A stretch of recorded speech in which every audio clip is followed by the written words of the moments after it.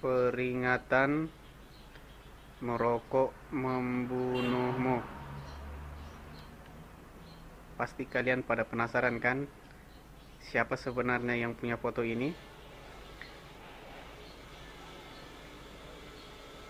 Masih penasaran? Yang ini bukan. Ini tengkorak. Ah, yang jelasnya seperti contoh ini.